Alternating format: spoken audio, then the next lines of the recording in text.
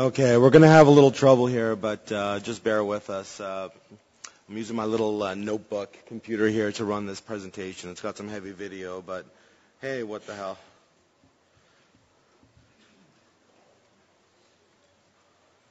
Oh, one second.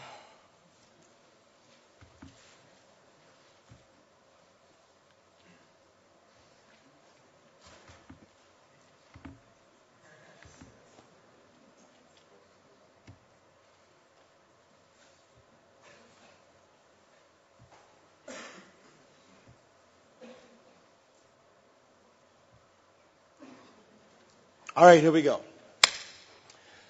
So, uh, name of my talk today: get out, get your game out of my movie, narrative design in Mass Effect 2. So, I want to talk about the title because actually a lot of people have been asking me about this and what it kind of means. And really, uh, for a Bioware game, we really don't differentiate between game and story. Uh, they're pretty much the same thing. They, um, we start with story and we add gameplay, but really they're um, they're symbiont to each other. They don't, we don't really differentiate between the two. And really, I think the title itself kind of just encapsulates what we believe the, the rest of the industry is really struggling with right now, which is the fact that, you know, we have story and we have gameplay, but we're really trying to merge them. So what this presentation is going to be about is how we solve those issues uh, for Mass Effect 2. So who's this guy talking to you? Well, my name is Armando Troisi. I'm the lead cinematic designer on the Mass Effect franchise. Uh, I've been with the team uh, for about four and a half years now, and I've been running uh, what we call the cinematic design department. And cinematic design is really kind of an odd thing. It doesn't really exist in a lot of places. And um, we just uh, kind of, sorry, Frank. so, uh, yeah, that, that would be a good one for later on.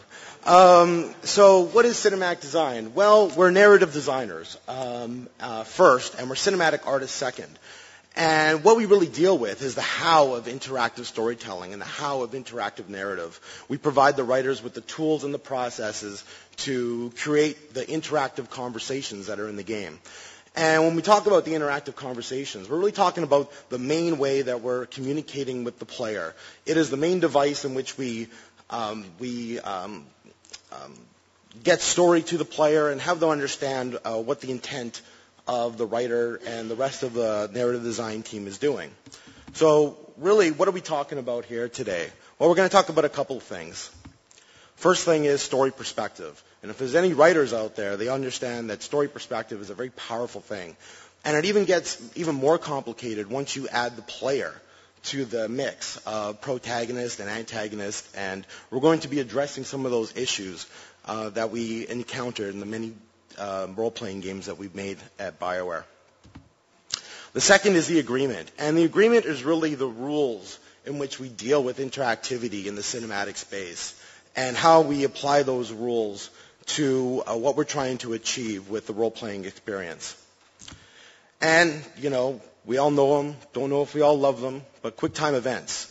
Uh, we've added QuickTime events to conversations in Mass Effect, and gonna, we're going to go through kind of what the process was in designing those and making sure that they um, um, they're part of this agreement. Um, you know, they fit into our narrative design structure. And we're going to have some Q&A at the end of this, uh, so you can ask me all types of great questions. So firstly, um, a Bioware game is composed of what we, what we call the pillars of design. And really, they're story, exploration, progression, and gameplay. So we have this concept of activity chaining, which happens between these four different quadrants of the player experience. And the one we're going to be concentrating on today is story. But that's not to mean that the other parts don't have story, like they obviously do.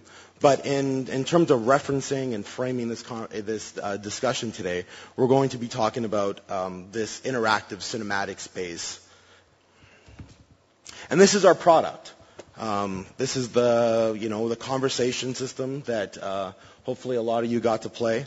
And uh, we're going to be talking about the mechanics behind story and how we uh, navigated the minefield of different uh, player choice and agency. So firstly, let's try to define what we call a conversation. And the first thing that I think of really is that it's a narrative tool. It's a way for us to communicate with the player. And there's lots of narrative tools that we use. We use ambient dialogue, we use video, video screens, we use uh, codexes, we use a, a myriad of, of techniques to communicate. But this is our primary narrative tool. And, and secondly, it's a game system. Uh, it allow it is a massive, massive thing that we develop at BioWare, and it allows us to coordinate the content from dif- disciplines like art and writing and animation and level design and bring it all together and to make these great interactions. And it's also a philosophy. When we talk about conversation at BioWare, we're talking about this character interaction, this emotional storytelling that we're really trying to achieve. So this is something we're always working on, always trying to evolve. And this is the scary part of a Bioware game. Um, this is the conversation tree, and I know, I know, a lot of people have a lot of opinions about conversation trees and and you know whether or not they're uh, uh, a good way to do interactive narrative and interactive dialogue. But it really works for us. We really have spent many many years refining this uh, particular uh, way of communicating with the player. And, you know, and it's the one thing that's very common to all Bioware games. We all use this basic technology. Everything from Baldur's Gate to the new MMO uses this technology and this design principle. But if you look very closely and very deeply into this, this crazy web, you'll notice that there's one thing that's inherent to what we're trying to achieve. And it's the idea of choice. And choice in cinematics is something we, we take really seriously at BioWare. And it's the culmination of all the animations, the cameras, uh, the scripting, the dialogue, the VO, and we bring it all together. And what we're trying to do is just really make sure that the player understands, hey, you know what? This is your story. This, this story doesn't belong to the writers. This story belongs to the players. And we really try to uh, imbue everything we do with that kind of sensibility. So in order to frame this discussion, we're going to be talking about perspective. And uh, when we talk about perspective, we're talking about a couple of different things. Uh, we're talking about the point of view in which the player interacts with the story. And in Bioware games, it really comes down to two different types of, of categories. One is subjective and one is objective. So subjective. Uh, we have a huge history of doing these types of games, and I'm sure you can recognize uh, a, a lot of them up there. Um, it really, and really, um, what a subjective game is, is a traditional role-playing, computer role-playing experience. It's, it's the one that we've all known for many, many years, where you are the avatar and, or the playing character. Um, dialogue responses that you make are verbatim. Um, there's no interpretation. What you say is what your player says. There's uninterrupted agency, which means that my character doesn't act without me actually telling him what to do. He, he doesn't act on his own. It, there's always a, a level of choice that happens moment to moment between me and my avatar. And it's really great. Um, it allows us to quickly empathize with the avatar in order to get into his head. And this is really the design of, you know, this, this is you. Um, um, this is not someone else. This is you playing the game. But there's a couple of things that happens and, and that we're going to be looking at right now. And the first is really some of the side effects that happens from this subjective point of view. And it's temporal distortion and really lots of dialogue. So temporal distortion happens when choices are being made or your player says something and we usually say, oh, your player's silent. But no, your player's not silent. We just sped up time really fast and we just chopped out that time and we went straight to whatever the response was. And really, what happens is, uh, in that type of situation, uh, the, the, NPC has to hold up a lot of the dialogue on their own. So there's a lot more exposition needs to happen. So we're going to take a look at a clip here from Knights of the Old Republic, in which we uh, we use this subjective storytelling technique.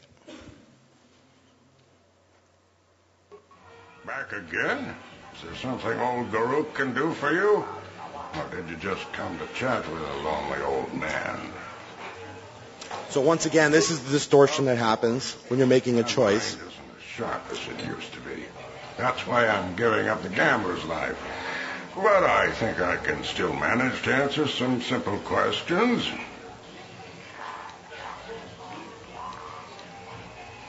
And again, some more distortion when you make a choice. We're saying time has stopped at this point, and you are now contemplating your next um, your next choice. So, uh, and I forgive me for the choppy video. Um, I'm running this thing off my little laptop here, so um, uh, just forgive me for that, please. Um, so here we go. Now we get into the objective story, and this is kind of what some of our newer titles are doing, uh, especially for the Mass Effect franchise, and it, it actually brings uh, brings along a lot of new challenges. So when we talk about objective story, it's really counter to the traditional role-playing model. You are not the avatar. So when people say that, they get kind of weirded out because they're like, Shepard's me. But you're not, no, it's really not. And I'm going to explain why you, well, most people feel that way about Shepard. Uh, but you are not Shepard. Shepard has his own motivations. He has his own voice. He's, a, he's, a, he's an actual character. He's more akin to Kratos than, uh, than anything like on Dragon Age or, or any of the other titles. So Avatar has his own voice and motivations. The player is now voyeuristic to the whole experience. And this is when we get into what we call the interactive movie model, where you're very, um, you're very objective to what's happening and you're kind of watching things and then trying to control it through your choice. So a lot of, there's a lot of reasons why we try to do this. Uh, really, it's this idea of real-time narrative environment uh, that actually removes a lot of these temporal distortions that we saw with the previous clip. Um, and the temporal distortions being when you make a choice or you're waiting for a choice. So this allowed us to really break through and add drama to these interactions, which is something which our project director really wanted to do. And this is really the breakthrough in interactive storytelling that we made with uh, Mass Effect. So we're going to take a look at Mass Effect, and uh, we're going to see this real time uh, environment in action.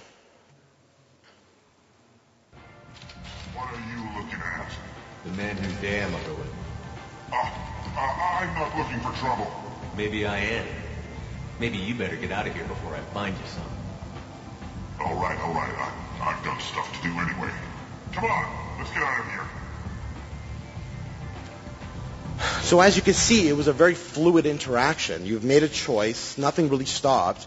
Um, and a, lot of cool stuff just kind of happened around you, and uh, it really feels like it's real time, and, and it really feels good. It feels very cinematic at that point.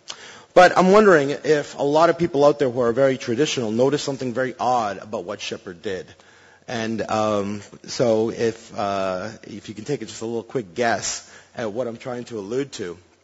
Let's roll the clip again and let's take another look.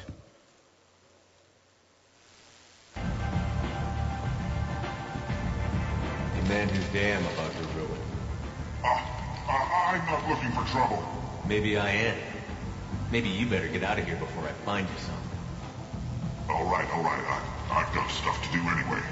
Come on, let's get out of here. So, um, I wonder, did anybody catch it at all? Oh, nice, exactly. So what it was is auto reply. So Shepard acted on his own without me telling him to do something. I didn't want to say that.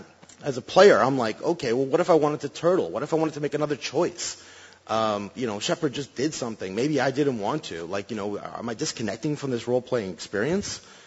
My, my agency has just been interrupted. Like, so, you know, what's going on here? Was it lack of choice? Was it an anti-role-playing design?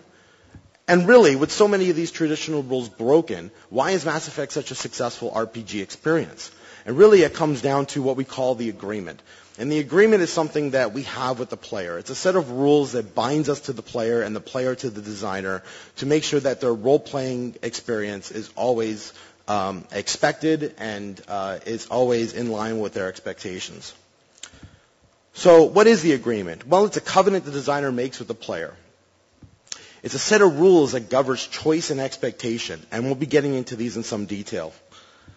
It binds the player to the role-playing experience and allows the player to access the avatar. So it, allow, it allows us to have this very fluid, very first person, very uh, subjective role-playing experience while still, ha- while still maintaining this, this objective um, point of view in the story. So what is the agreement we made? Well, every time we're writing things at BioWare or at um, on Mass Effect, we always come down to some certain principles.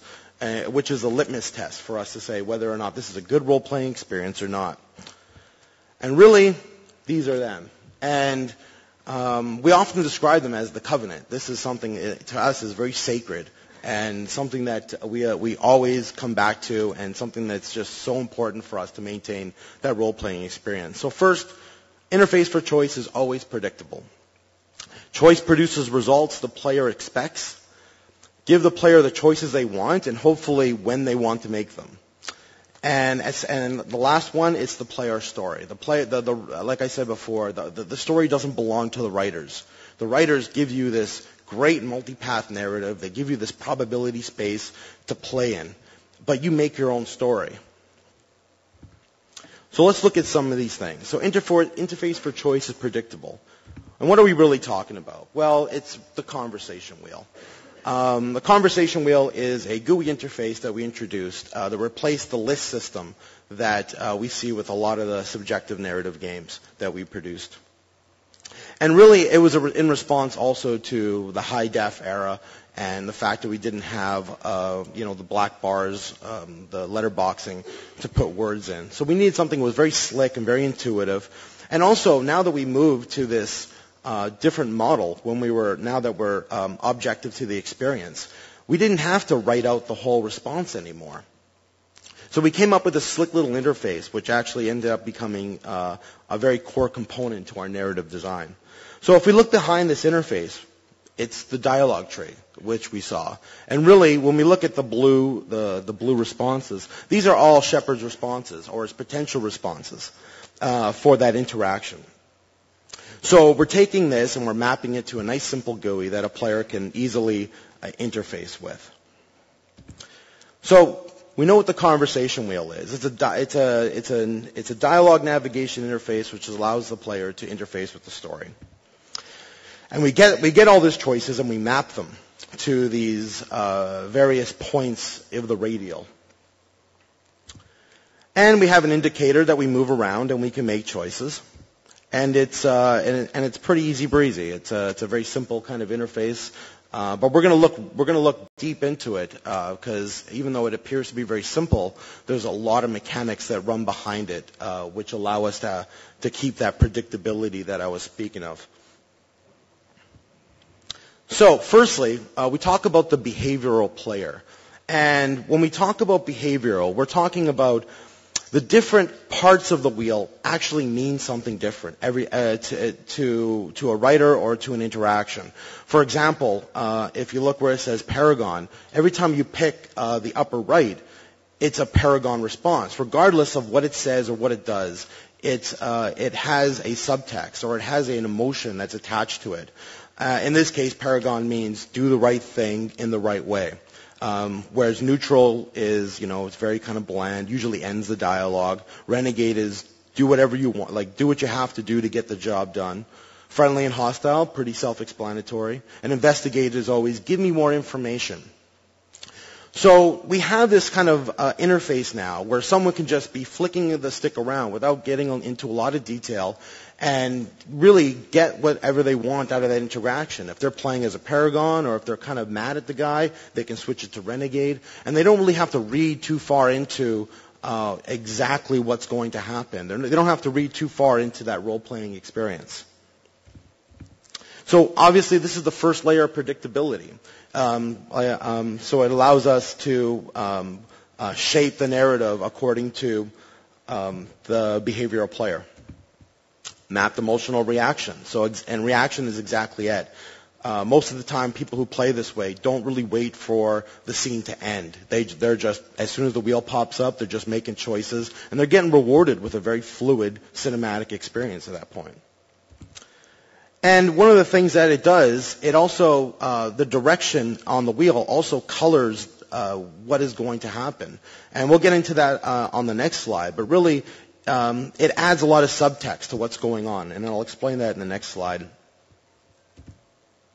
So the cognitive player. Um, the cognitive player is the, the the role player. It's the person who wants to really read into what's going on, wants to make a careful choice, and, and be very exacting on what's going on.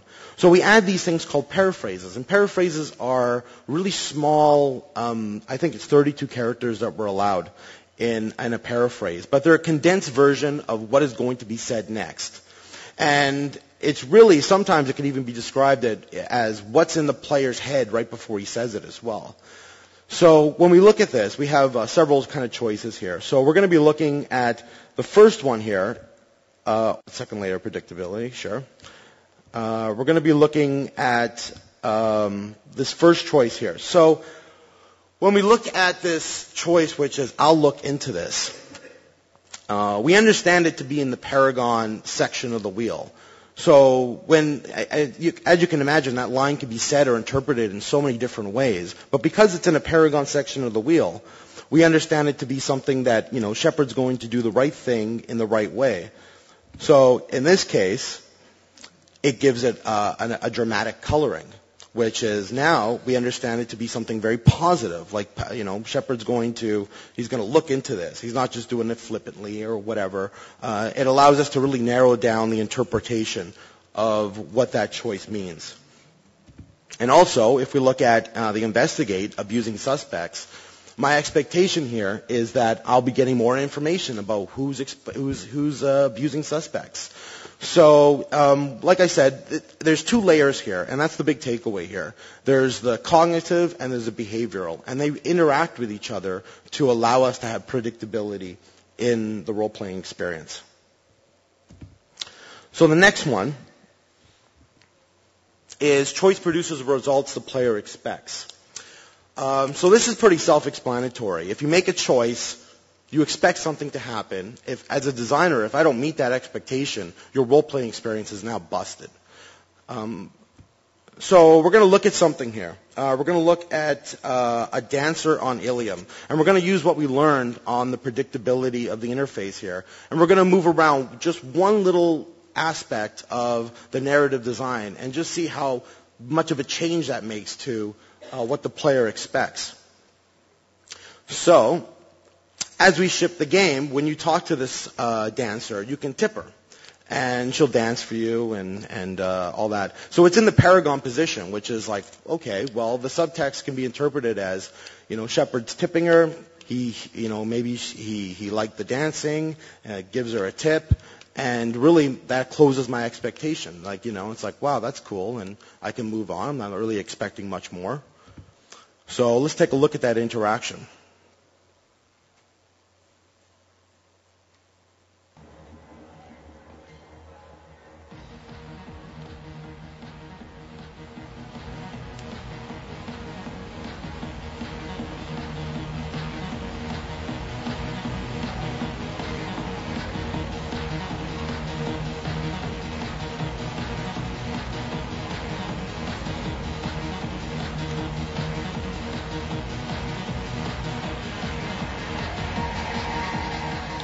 So, so at that point, the player's like, oh, okay, that's cool. It's, uh, it's a very light interaction. It just happens at one of the clubs. And, eh, okay, that's fine.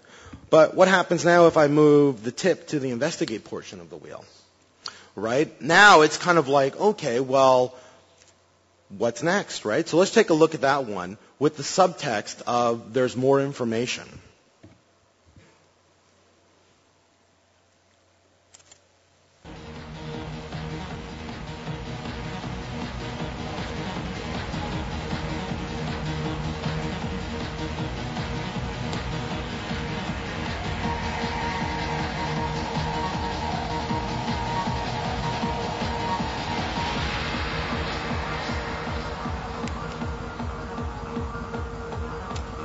So as you can see, nothing happened. Like, I, I made a choice and I got kicked out back to the first choice and nothing really occurred, right? So really, I'm, I'm at this point, the, the player could be felt, could feel really cheated with this interaction going, okay, well, do I have to keep tipping her for a plot to open up? Um, is there something else that I need to do? I'm very confused at this point. So really, that, that would be an error in design, in narrative design right there, where we don't meet the expectation of the player. So once again, what if we moved it to the Renegade? Well, you know, uh, you know, use your imagination. It could be pretty much anything at that point. But um, you know, as you can see, by just changing positions on the wheel, we're adding subtext to uh, just a, um, a word that says tip, and we're adding that predictability to the interface, and uh, we're trying to meet expectation whenever possible.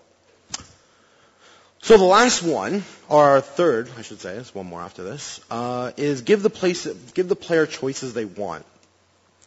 Now, and and and I often preface this with uh, when they want to make them, which is also very important. So one of the things that we're going to be looking at here is another video clip, and this video clip is of an interrogation sequence that happens. Now, Shepard's interrogating somebody, so you know if, if I'm a player and Shepard's interrogating somebody, I expect Shepard might get rough with him. So if, as a designer, if I don't put that interaction in, I'm not meeting someone's expectations of what an interrogation should be. So that's exactly what we did with some interrupts uh, with this interaction. I want to see my advocate. Your advocate hasn't arrived. We're trying to find him. I'm not saying a damn word until he's here. You two are in way over Pay attention, Mr. Callum. That wasn't a good idea, kid. That is gonna cost you. Control your temper. We want him to talk. Sorry. My associate gets a little excited during interrogations. Hit me again, asshole. Every punch is another credit in my pocket. Works for me. No! Do you know what I'll do to you when I get out of here? Keep it up, tough guy. You'll leave in a bag. Go to hell. I, I think female Shepard rocks, by the way. Yeah. So, uh, so what happened there? So the VO and the situation all kind of supported and focused the player to have this interaction, which allowed them to hit them. So, you know, while he's saying it, and you're like, wow, this guy really sucks. Like, God, I wish I could hit him. And bang, that thing pops up. And you're like, that's fantastic. I really feel like I wanted to make that choice, and there it was. Um, other other kind of examples of that would have been uh, on the game when um, uh, when t- when Tali's dad's kind of dead there. Uh, spoiler alert. Um, but uh, and and she's crying, and most players are like, "Wow, you know, I wish I could just hug her." And then the interrupt comes up, and then you can hug her, and it closes that loop on expectation, and you feel really great and good about that about that interaction. So we're going to look at the opposite now, where you know maybe things don't go good. Like there's a lot of stuff in this game, right? So uh, we're going to look at somewhere where choices are kind of weird and, and kind of didn't work. So in this one, we're going to look at a shopkeeper on the Citadel. Good day, my friends. Welcome to the Citadel. So we're given a choice, which is like accused of classism, and it's just like, okay, well, you know, I, there was no setup. I, I have no idea. She just said welcome. Uh, so let me let's just see what happens if I press this button. You know, for a bunch of cheap touristy crap, your prices are pretty high. I am sorry you feel that way. There are many stores on the Citadel. Perhaps another would be more in your price range. So you're saying I'm poor?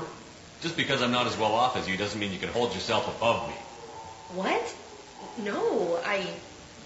Hey, everyone! This store discriminates against the poor. Please calm down. As an apology, I'll let you have my station employee discount. Is that acceptable? Well, all right. But you still hurt my feelings.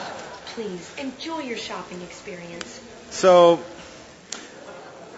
and we all really love that interaction, but it actually doesn't really work because it's like, okay, accuse of classism, make a choice, and kind of sit back and watch and really I don't really have any agency and Shepard's talking and I can't say anything. So it breaks a lot of the rules of the agreement. And that's really a great example of where things go wrong. And ways we could have fixed it could have been uh, we gave a little interaction with somebody uh, right before we stepped into them. Maybe we give her some lines, uh, maybe some ambient stuff. Like there's things we could have done to repair that situation. But um, with times constraints the way they are, some things have to slip.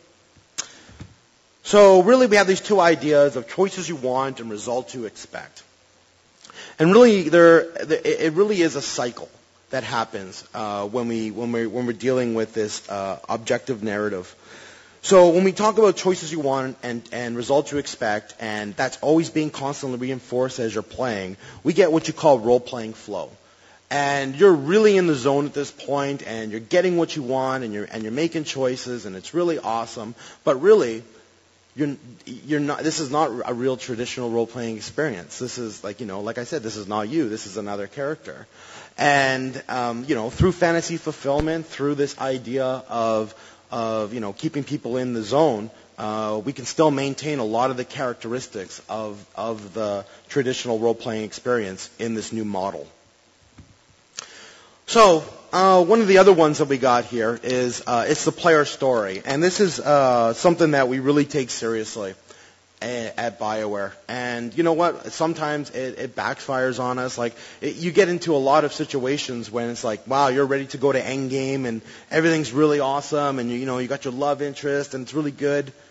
But then you stop by the Citadel, buy fish, right? It's just it, it, it's it's this idea of absurdity that can happen in the narrative. And, and if you ask writers and traditional cinematic artists, they all go kind of crazy and they're like, no, no, no, but drama and this and that and the other.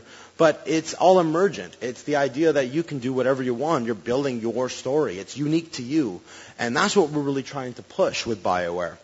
So what? So let's talk about the player story for a second, and kind of one of the biggest things that we did uh, with the sequel, and what we're planning to do with uh, Mass Effect 3 as well, is this idea of importing your save game. And, and this is something which was obviously very technical to try to do uh, on a number of levels. But it really illustrates our, our commitment to making sure that the actual whole story is yours. You know, this is, this is something which is unique to you, and then you can tell your friends and compare notes and go, wow, you know, like I had this experience and that experience, and, and, and it really just becomes about you at that, at that point. So what is it? It's your continuing story uh, for Mass Effect. Uh, it allows us to get some plot threads and, and, bring them forward, and it really is the uh, the uber feature of the Mass Effect universe. Uh, we are story-driven games. BioWare's committed to making the best story-driven games in the world. So um, features like this really fall in line with what we're trying to achieve.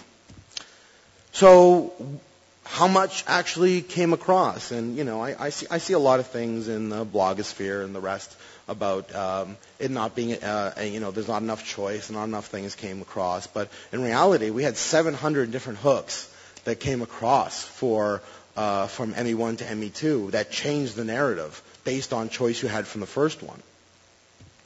And what we found really is it's the small things that matter. It's the small things that make it your story.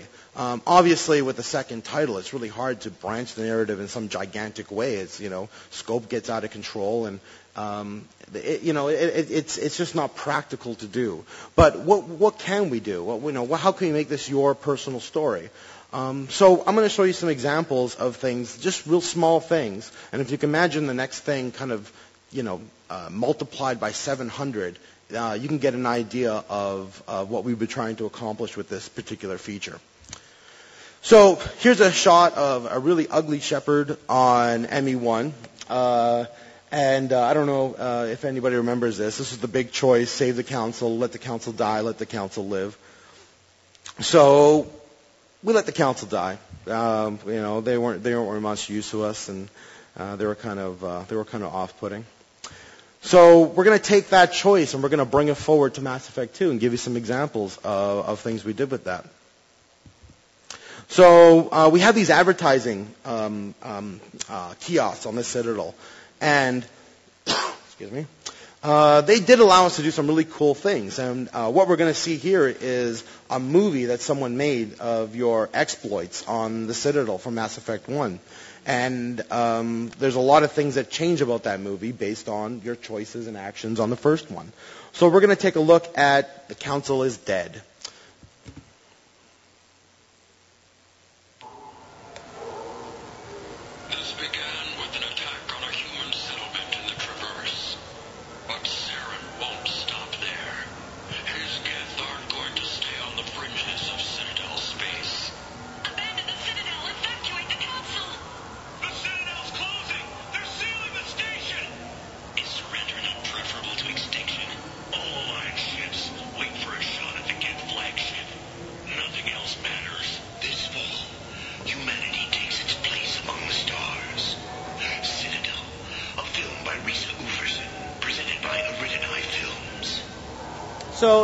Couple of things in there. It's a, it's a fall release. Uh, it's not a summer blockbuster. Uh, you know, uh, Shepard's actions were there. Uh, it was male Shepard in the ad. Um, so let's see what it looks like. Council is alive, but this time with a female player.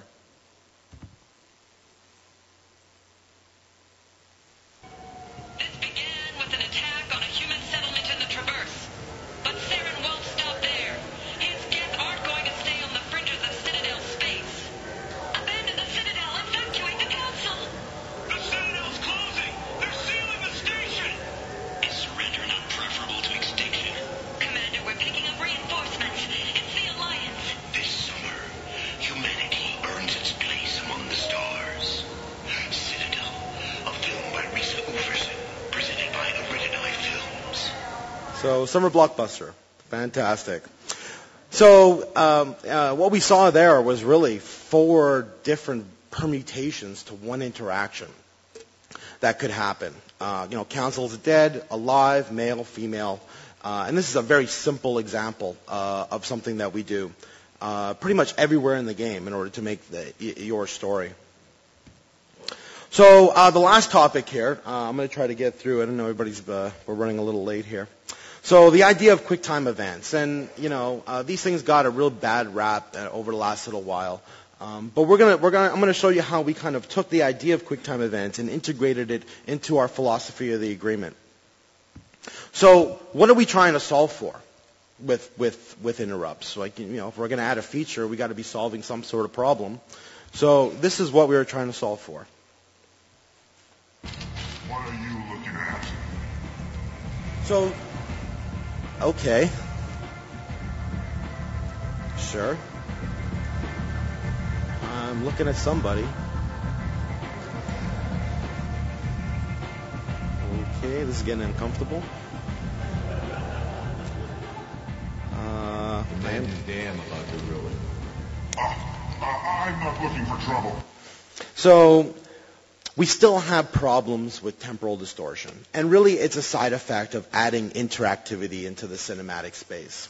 So the idea of QuickTime events were really this idea of adding these interrupts or these very visceral QuickTime uh, events that would allow the player to take control of situations and really allow them to steer the narrative in a real-time way. So this is our first sort of foray into the real-time uh, character interaction uh, side of design. So when we talk about interrupts, we're talking about a couple of things. Uh, we have uh, we have these renegade interrupts, we have paragon interrupts, but we never have both on the screen at once. And it was one of the uh, one of the design philosophies we we had is the fact that uh, okay, well, making a choice and because we had to make these very binary. We found that giving people too much choice in this real-time space confused a lot of people. It was just too much. So really, we just ended up making it one choice or the other. This moment was either Renegade or Paragon. But we, there was a lot of interesting things that came out of that. And one of the interesting things that uh, we found is if you're playing as a Paragon and a Renegade moment came up, people were very conflicted about whether they should take it or not. Because, man, if they see a flashing icon, they really want to take it. But that's not the way I'm playing. And like, you know, and if you look at some of the biometric readings on this stuff, man, it's just all over the map. And they haven't done anything. Like, you know, it's like they're just sitting there and they're just really getting conflicted and having some internal conflict. So not having, not making a choice was actually very powerful. So we kind of kept everything very constrained to that sort of uh, design philosophy. So let's apply the agreement to this and see how it lands. So firstly, interface for choice is predictable. Sure, there it is. It's uh, Renegade, it's Paragon, it's left side, it's right side. It's pretty easy. And when it, when it comes up, I can train the player to always take that one. And, you know, so I would say, yeah, okay, that makes sense. Give the player choices they want. Well, we as we saw with the interrogation scene, you know, it really depends on the writing and iterating with the writers to make sure that they do give you choices they want. It's the player story. Like I said, sometimes not making an interrupt can be more powerful than taking one. So yeah, you know, I'd say it's, it's the player's story. Choice produces results the player expects. Well, this ended up being a little hard for us because it was a real-time interaction. We didn't have the ability of getting any of the of the cognitive sort of paraphrasing into this into this space. So what do we do? Uh, you know, we uh, on the first implementation, it was really a lot of bro- broken role playing. Uh, you know, people accidentally shooting other people in the face. It was like, it was just, it was, it was all over the place. So we had to really come up with uh, a different idea of how to implement it. And what we came up with was this idea of telegraphing, which is really just a visual paraphrase. Um, it helps predict the specific action that's going to be made and lets the cognitive player make a meaningful choice. So I'm going to show you some examples of what I mean by a visual paraphrase. So we have a situation where Shepard talks to a suspect and then Shepard just attacks him. So if there was an interrupt there, you'd have no idea that, like, yeah, yeah, you know it's going to be a renegade action, but there's there's so many shades of gray there. Uh, he could slap him, he could shoot him, he can push him, he could do, he could talk mean to him. Like, you know, there's just so much there that uh, it really doesn't help with the predictability of the role playing. So let's take a look at what that interaction looks like with uh, without a telegraph. Yeah, yeah. I told you. I ain't saying nothing. Fine. We'll do it the hard way. Oh, God. Dave, help me. So, uh, you know, in that case, it's like, okay, well, I didn't want to push on This poor kid. Like, you know, you have to, like, people have a, a, a lot of really strong feelings toward these digital actors. Like, you have to really respect. So it's like, wow, you know what? I didn't want to do that. My role playing's broken. BioWare hates you. It just goes on and on. So we had this idea of a telegraph. So this wouldn't work. So, oh, fine. What do we do now? So we add a, we add another shot to the sequence where Shepard starts to crack his knuckles. And this allows us to say, hey, you know what? This, I, I have now I have a really good idea. Not only do I know that it's a renegade action, he's cracking his knuckles. I bet you he's going to hit him. So let's see what that looks like now.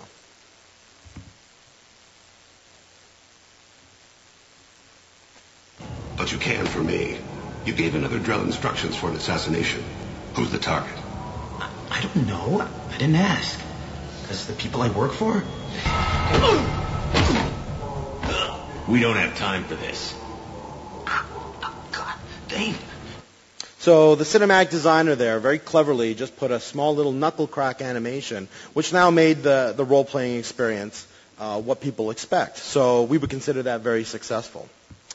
So in conclusion, uh, I just want to hit a couple of really, uh, real, real powerful points here. Is interactivity is a very potent narrative device, and putting activity into cinematics is something we should all be looking at. Uh, really, the the idea of the linear cinematic has been around for a long, long time and hasn't really changed much. Uh, you know, yes, we get into facial mocap and a lot of the crazy stuff to make the fidelity up, but we're forgetting these are game systems, and what they do really well is interact is be interactive. The other is perspective is powerful, so making sure that when you start writing your game, you choose your perspective very wisely and discover your agreement, and whenever you can, stick with it. Thank you very much.